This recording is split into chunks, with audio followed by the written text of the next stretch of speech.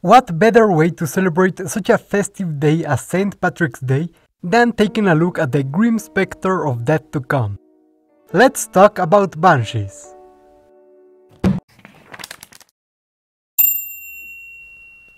Hello everyone, and welcome to the Speculative Wildlife Research Center. Banshees are female spirits from Ireland known for wailing when someone is going to die and hanging around burial mounds. Fun, right? That's why we're going to reimagine them through speculative biology. So please consider wailing on those like and subscribe buttons if you like this video. And now, without further ado, let's get started.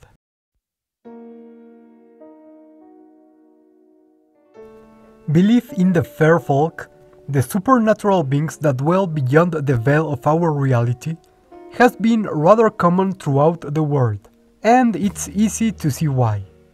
Many beings all across the planet have inspired such myths and legends, ranging from the earthly to those that defy explanation, beings scarcely more explainable than the myths they inspired. The latter of these we shall meet at a later date, when more information about them is available. For now, let's see one of the more approachable of the fair folk, Tumulabis nudifaciens, or the banshee. These large birds, nearing the height of a human being, are found in Great Britain and surrounding islands, being most common in Ireland, with closely related species found mainly in Scotland. Banshees are strict carnivores, and are most usually found near bodies of water, especially rivers and bogs, where they will stand idly by, catching small aquatic prey with a quick movement from their long neck. Their dense, oily plumage helping disguise them both from prey and predator. The presence of highly reflective feathers found across their body helps them in this purpose, further disguising them and blurring their outline. This has even led to banshees being contradictorily described as being white and dark grey in color, a result of the differing appearance of their feathers depending on light conditions. Despite being able to hunt, most of their nutrient uptake comes from carrion. They will tear off flesh from carcasses using their sharp claws and strong beak, and their face and neck are bared to prevent pieces of food from being stuck to their plumage. Whatever residues are left, the banshees will clean by dipping their beaks into the water. When they have fed on fresher corpses, the blood of their meal can be seen staining the water as they wash themselves.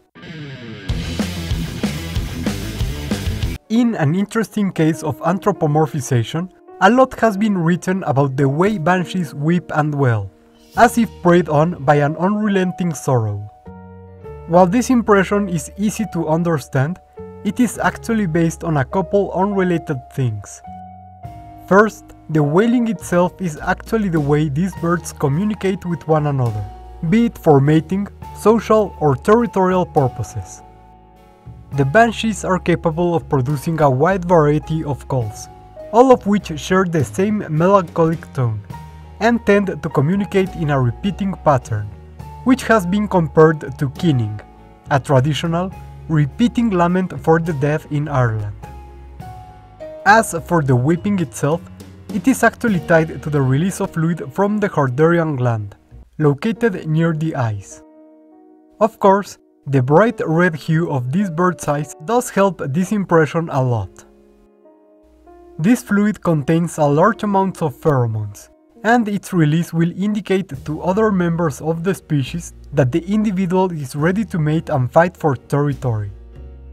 These displays include the raising of bright red hackles, used to signal the individual's strength and good health, and these hackles have often been confused with flowing hair when these birds are half seen in the dark, with their tendency to print them constantly certainly lending credence to said impression. Once a pair has mated, the female will lay one or two eggs, which will be buried in a small nest at ground level, and the parents will keep a keen eye on the nest as they hunt and feed.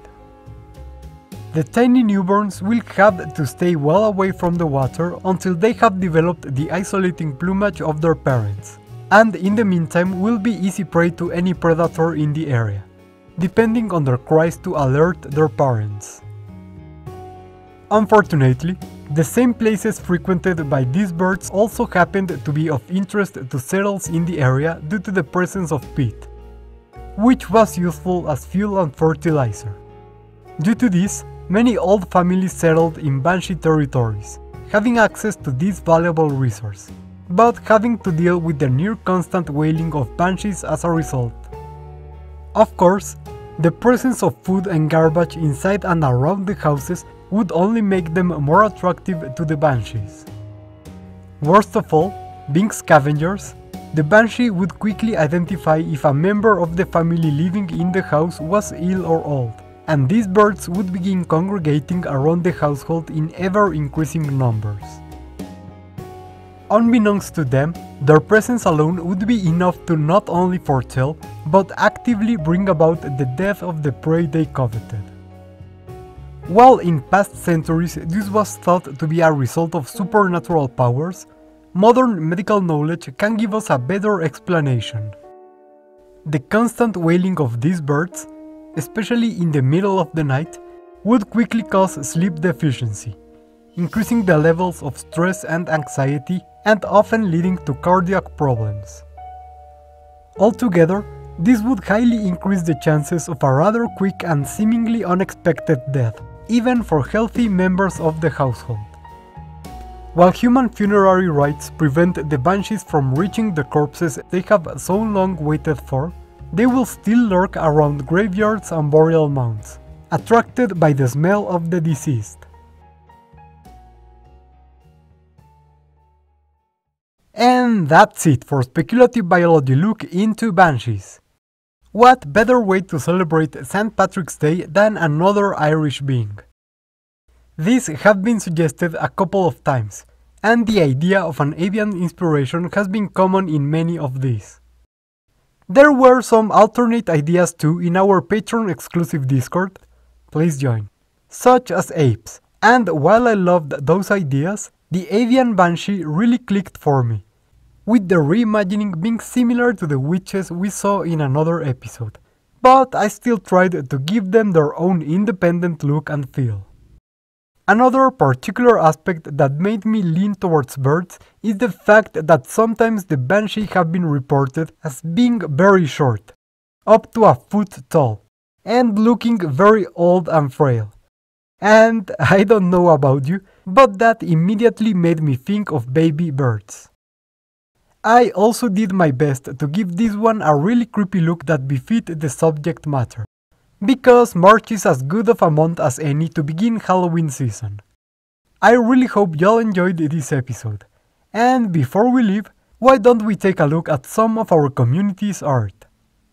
Here's a look at one of the old drinkers from our World of Metal project, beautifully rendered by Shattered Reality.